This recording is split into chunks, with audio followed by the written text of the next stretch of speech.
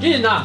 好啦，来 Taki，然啊，后画一个像你的这个自画像。我的自画像对，我还真没画过，我要想一下，我长得是什么样？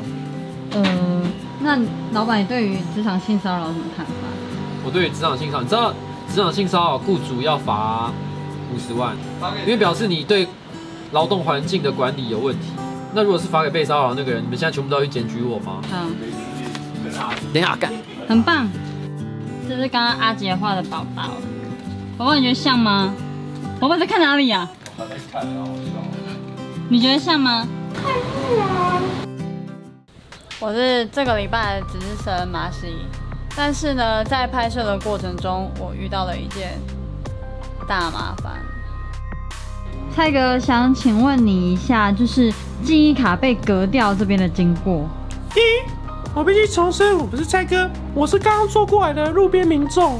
嗯，第二，是本来说已经录好了，但没想到说大黑给小哦，他没有经过 double check，D O U B L E C H E C K O，他就擅自的自己把它割掉了，然后他就哦哦，那就剪掉就剪掉了。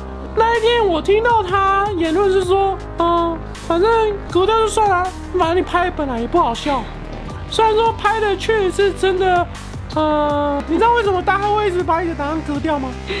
为什么？因为他是个有格调的人。好，请问那个在办公室的张先生，嗨，他刚刚有变音的，你就帮我变音一下，帮我拉拉快就好，拉快就好，就很快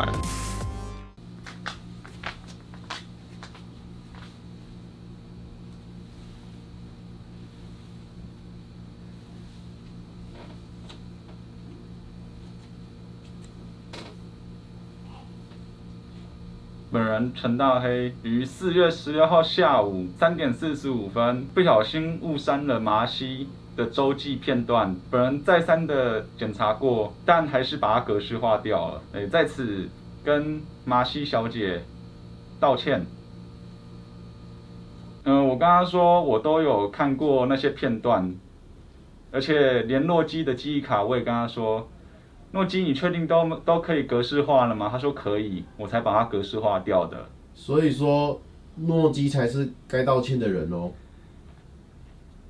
对，那请问诺基先生，听说整个事发的过程你都有参与，是？是，就是大黑他有就是突然叫我一下，他说：“哎、诺基你过来看一下。”然后说：“哎、这些档案你还要吗？”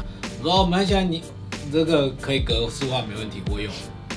那是不是你就是一个帮凶呢？陈大黑先生，你是否有因为诺基先生跟你说，呃，我的部分可以革掉，导致你直接说，哦，好像可以革掉了这种错觉呢？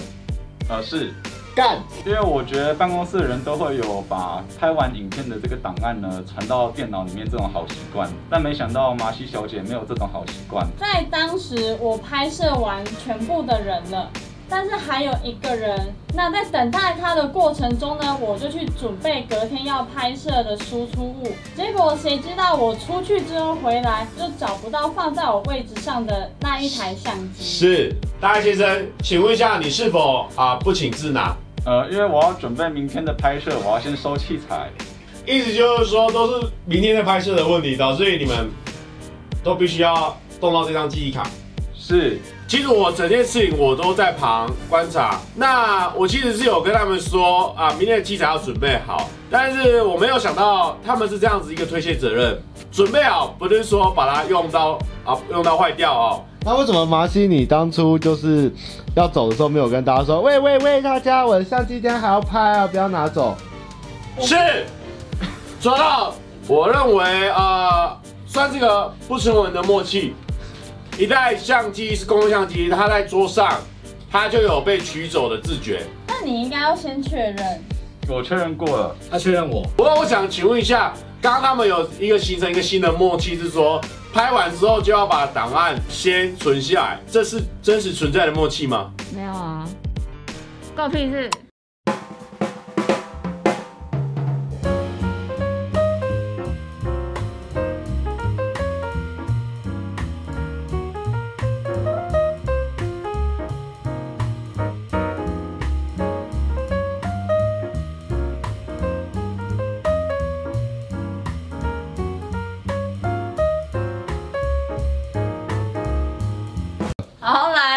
下一个礼拜的主题。对，哎，走路、运动、运动，哦，随行随行随行。哦，对，呃，转到第一个就是哎有主没有剪。前面差很多？我靠，好，来转了。第一个是前面的哦。干干干干干干干干干！操！我操我操啊！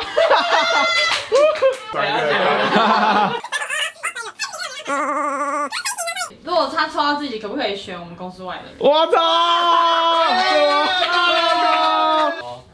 干这个好刺激哦！桌游。所有主题是不是？我要跟大黑干什么嘞？干跟大黑干什么嘞？交通交通，拜托，动漫拜托，拜托，张贴拜托，音乐，这什么？什么？